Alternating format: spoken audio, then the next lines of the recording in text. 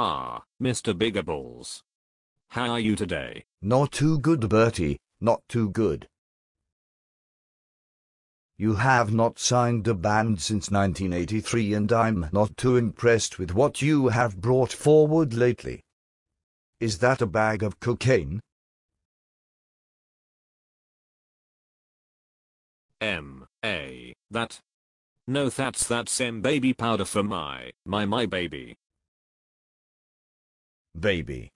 Yay I forgot to tell you, Mrs. Bertie was pregnant. She left that here this morning, when she changed the baby. Hum I see. Well Bertie, bad news I'm afraid. Bad news? Oh no, you're not resigning are you, Mr. Bigger Balls? I'm not. You are. What, why?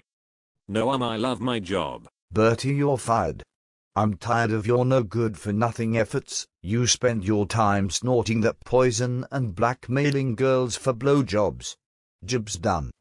But but, the only reason I haven't signed anyone lately is because I was afraid of losing my job if they didn't sell. I love this job. It's done. I want this office clear by the morning. Oh, and by the way, as I said, your last signing was 1983 and they haven't sold a record since 95. You have been getting paid to sit in this office and look good for too long, expensive dinners on poor band's demo budget. Your unsorry excuse for under and our rep. Goodbye, Bertie. Oh no what a fucking twat.